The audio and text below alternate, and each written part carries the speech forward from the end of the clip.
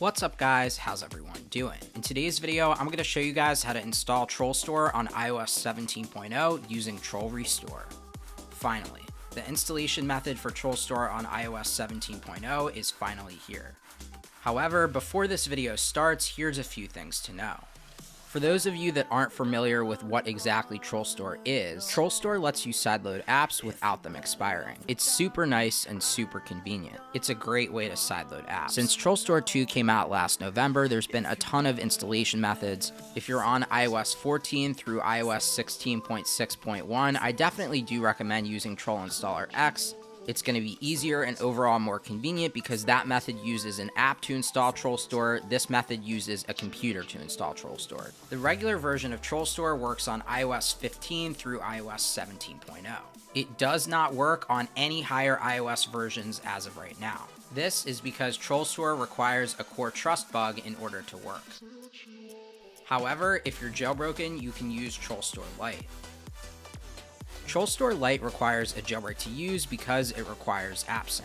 So as long as you have access to a jailbreak, you can use TrollStore Lite regardless of your iOS version. This installation method works differently than methods of the past. With methods of the past, you sideloaded an app onto your phone and installed TrollStore through there. You'll need some kind of computer for the initial setup for this, however, you'll be good to go after the setup. With all that out of the way, let's get started. So you'll need to make sure that you have a compatible device and it's on a compatible iOS version. If your device is on iOS 17.0 or earlier, you're good to go. Next, we want to make sure that we have the Tips app downloaded. If not, just go to the App Store and search for Tips. And there it is. So now all we have to do is just go ahead and install it. And here we go. This is kind of a useless app, and we're going to be using this app to replace it with the TrollStore helper. You also want to make sure that you turn off Find My iPhone before starting this process. You can re-enable it right after you're done with this. Plug in your device to your computer. Go ahead and go down below in the description and make sure that you download TrollRestore.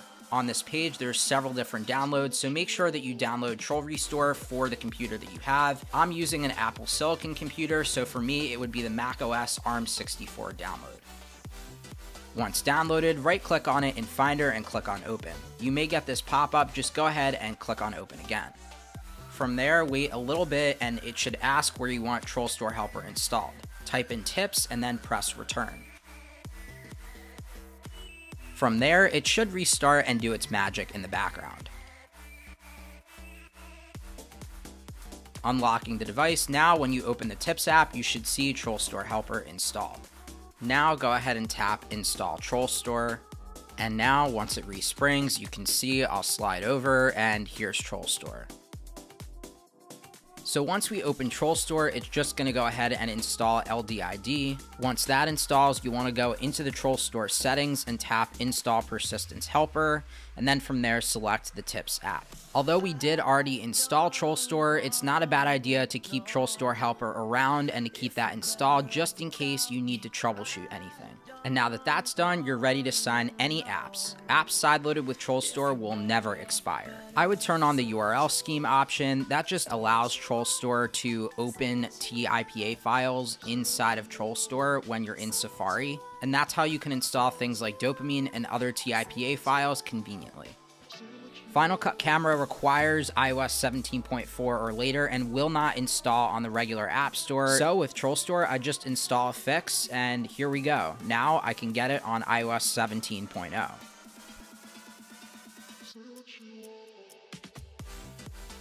Well, the TrollStore installation method for 17.0 is now finally here. Other than installing regular apps, TrollStore can also do some pretty cool things. If you're curious about any of the things TrollStore can do, I have a top TrollStore apps video, and that's in the cards and down below in the description. Anyway, guys, that's pretty much going to do it for today's video. Thank you guys so much for watching. If you did enjoy, please make sure to hit that like button. Also, go ahead and subscribe and turn on that post notification bell so that way you never miss out on a brand new upload. Thank you so much for watching. Have a good one, guys. Peace.